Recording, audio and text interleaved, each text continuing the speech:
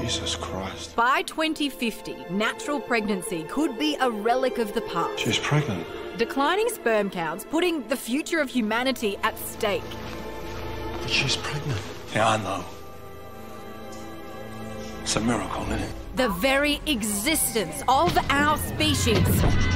Okay, it's not that bad, but total sperm counts have fallen over 62% in the past five decades. So, what's happening to all those sexy swimmers, Professor Roger Hart? It's probable that some chemicals within their environment, and possibly BPA and possibly phthalates, may be in some way responsible for this. BPAs and phthalates, aka the everywhere chemicals, are commonly found in everything like deodorants, shampoos, nail polish, hairspray, garden hoses, plastic toys, Teflon cookware, even the cushions on your couch. But other experts say men can exercise a little control over the situation. Sperm parameters are indeed declining. Uh, the causes for this are certainly multifactorial, with the more common causes being lifestyle factors, in particular obesity, uh, diet related um, causes. Whatever the cause, new research shows the decline is accelerating, dropping 1% a year between 1972 and the year 2000, and 2.64% a year since then. The decline leading to some dire predictions. If people don't have more children, civilization is going to crumble. And with nine kids, Elon's certainly doing his part, though some say Musk's not necessarily a perfect role model. I am not evil, I just uh, misunderstood. The good news is that uh, men are constantly making new sperm. I think the important thing is that we increase awareness about the importance of male reproductive health. Is this going to be an extinction um, of, of the human race?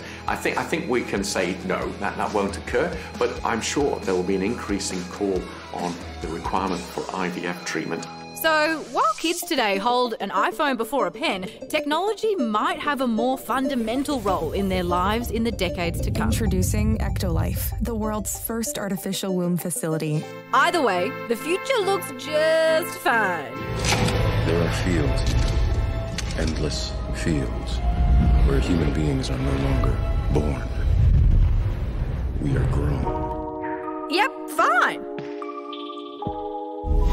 How's your sperm count, Mickey? Excuse me? Oh, How you I, going? I've actually got a.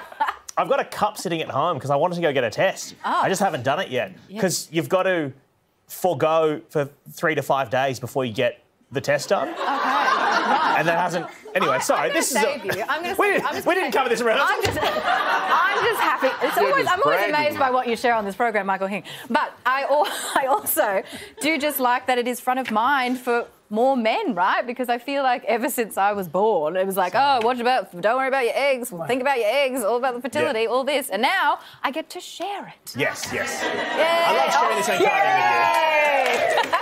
Also- Mine's stuck on Hing's cup running over. yeah, sorry, sorry, empty, it's sorry, empty. sorry.